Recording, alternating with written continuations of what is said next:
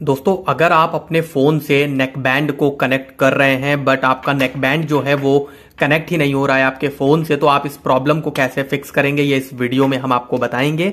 इसके लिए सबसे पहले आपको क्या करना है, आपको देख लेना है कि आपका नेक बैंड जो है वो किसी और फ़ोन से कनेक्ट तो नहीं है।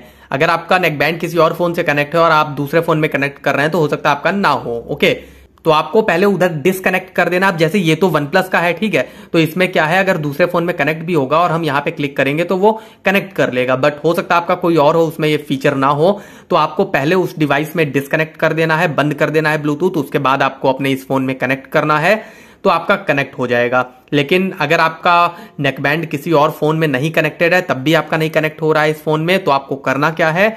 आपको एक बार अपना जो है नेक बैंड को रीसेट कर लेना है फैक्ट्री रीसेट उसके लिए आपको क्या करना है? सिंपली आपको एक वॉल्यूम प्लस और वॉल्यूम माइनस का ऑप्शन दिखेगा। ये बटन जो होती है, आप इन दोनों को प्रेस करे रहिए थोड़ी देर, ठीक है?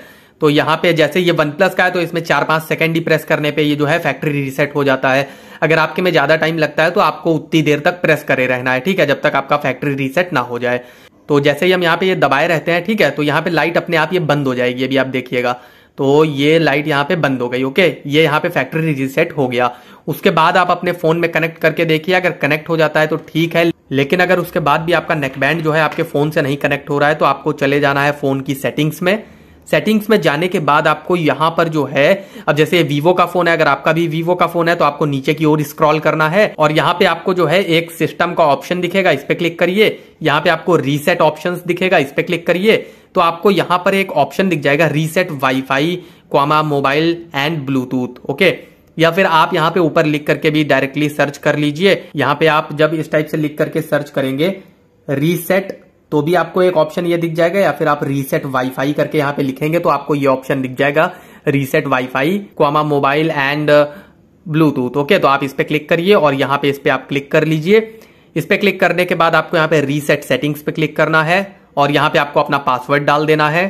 पासवर्ड डालने के बाद आपको यहाँ पे ये एंटर कर देना है और उसके बाद आपके सामने इस टाइप से दिखाएगा। तो आपको यहाँ पे फिर से रीसेट सेटिंग्स पे क्लिक कर देना है।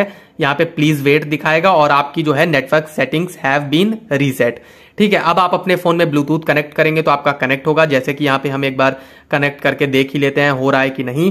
तो आपको यहाँ पे फिर से पेयर करना पड़ेगा ओके तो आप अपने नेकबैंड को सिंपली जो है ऑन कर लीजिए। ये यहाँ पे ऑलरेडी ऑन ही रखा है ओके तो हम यहाँ पे एक बार फिर से बंद करके खोल लेते हैं इसको ओके उसके बाद आप यहाँ पे पेयर न्यू डिवाइस पे क्लिक करिए। जैसे ही आप इस पर क्लिक करेंगे तो यहाँ पे आपको जो है आपकी डिवाइस का नाम दिखा देगा इस टाइप से नेक बैंड का तो आपको उस पर क्लिक करना है और यहाँ पे पेयरिंग दिखाएगा और आपका जो है ये पेयर हो जाएगा कनेक्ट हो जाएगा। अगर वीडियो से हेल्प हुई हो तो वीडियो को कर दीजिए लाइक चैनल को कर लीजिए सब्सक्राइब एंड बेल आइकन को प्रेस ऐसे ही और भी वीडियोस देखने के लिए मैं मिलता हूँ आपसे एक और न्यू वीडियो में। तब तक के लिए बाय बाय